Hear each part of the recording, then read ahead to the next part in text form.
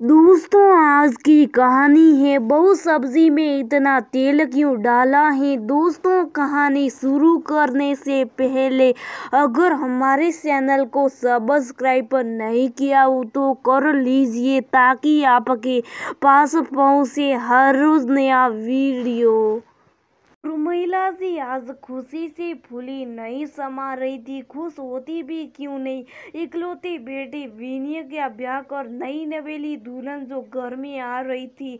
बेटे का केलम नाम ही विनय नहीं था, बल्कि उसमें वो सारे गुण मौजूद थे जो आजकल की पीढ़ी के लड़कों में देखने को कम ही मिलते हैं। उर्मिला जी को उस पर बड़ा नाज था दोनों माँ बेटे में गजब का सामर्थ्य था।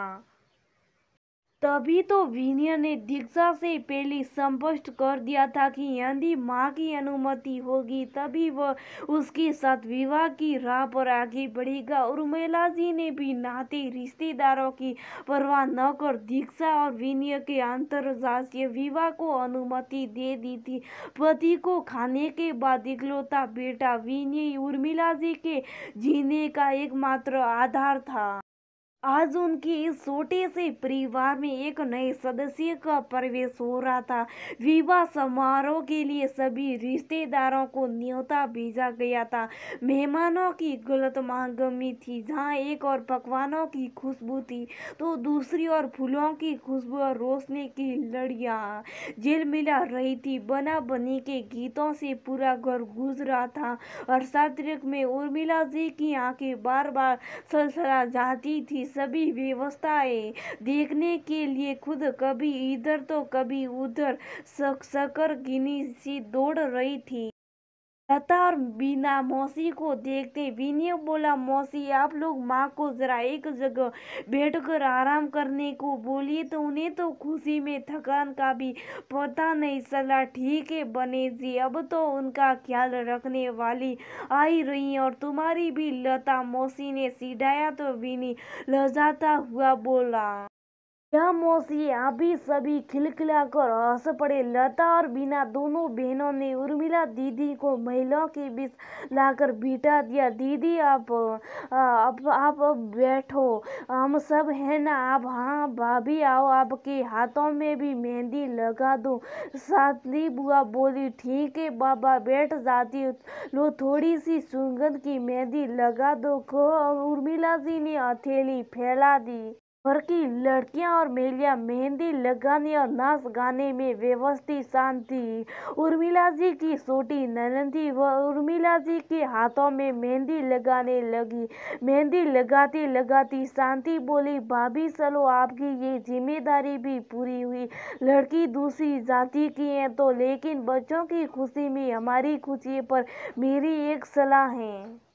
घाट बाल लेना, बहू के आती लड़का प्राय हो जाता है। तुमने कितनी मुसीबतों से विनय को पाला है इसलिए नई बहू की जरा लगाम कस कर रखना, नहीं तो तुम्हारा इकलौता बेटा तुमसे दूर चला जाएगा। अरे शांति, ऐसा कुछ नहीं होता। दीक्षा बहुत अच्छी लड़की है। उर्मिला भाभी, शुरुआत में तो सभी लड़कियों अच्छी होती हैं। अरे नहीं शांति मुझे विनय की पसंद पर पूरा भरोसा है। उर्मिला जी ने कह तो दिया, लेकिन शांति का तीर सही निशाने पर बैठा था।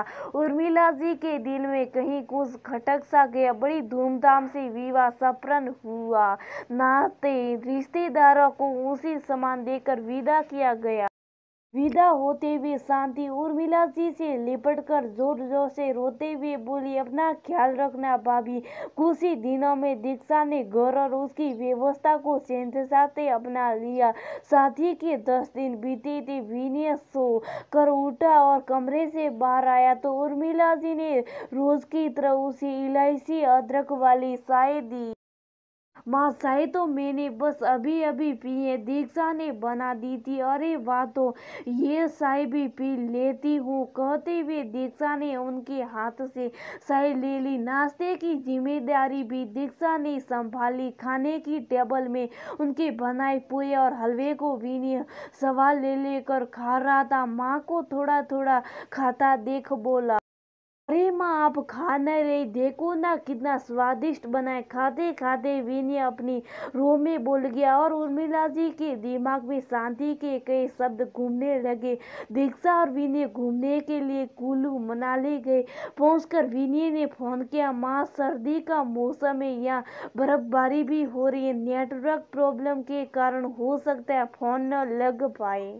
उर्मिला जी को अपना बेटा दूर जाता हुआ लगने लगा। विनय और दीक्षा लौट कर आई तो उर्मिला जी का व्यवहार काफ़ी बदला हुआ था। खासतौर पर दीक्षा को तो वो हर बार पर रोकने लगी। हुसा इतनी मीठी क्यों है? विनय को मीठा पसंद नहीं। सब्ज़ी में इतना तेल मीठी तो नहीं है। माँ विनय को था तो बोल उठी, शादी के बाद तेरी आदतें भी बदल गई। विनय की भी समझ में कुछ नहीं आ रहा था। दीक्षा ने उन्हें खुश रखने और पास आने की बहुत कोशिश की थी, लेकिन उन्होंने तो जैसे अपने चारों तरफ़ दीवार सी बना ली थी जिससे दीक्षा का प्रवेश निषेध था। करीब दो महीने बाद एक रिश्तेदार की शादी में तीनों लोग शामिल होने उज्जैन गए। शांति बुआ भी परिवार समेत पधारी थी उर्मिलेजा को गुमान था कि शांति ने अपनी बहू की लगाम तो अच्छी तरह कस कर रखी होगी, लेकिन यहाँ तो नज़ारा ही कुछ और था। दोनों सास बहू कम माँ बेटी ज़्यादा नज़र आ रही थी। शांति अपनी बहू की छोटी छोटी बातों का ध्यान रख रही थी। वहीं उनकी बहू भी सास के सुर में सुर मिला रही थी। तो क्या वो सलाह सिर्फ़ दूसरों के लिए थी? उर्मिला जी को अपनी नासमझी पर बड़ी कोप तो होने लगी। शांति की सलाह मानकर तो वो अपने घर की शांति भंग करने वाली सली थी। शादी से लौट कर आई तो जैसे पुरानी उर्मिला जी भी वापस लौट आई थी। नाश्ते की टेबल पर दीक्षा के बनाए सीले खाते हुए बोली, बेटा, दीक्षा तूने तो बहुत स्वादिष्ट सीले बनाए मुझसे तो ऐसे कभी बनते नहीं। फिर विनय की ओर देखते हुए बोली, क्यों रे, शुभ साफ़ खा रहे जरा सी तारीफ़ भी नहीं कर सकता। विनय माँ को देख मुस्कुरा दिया। दीक्षा की आँखों में भी आँसू के आँसू सिलसिला उठे।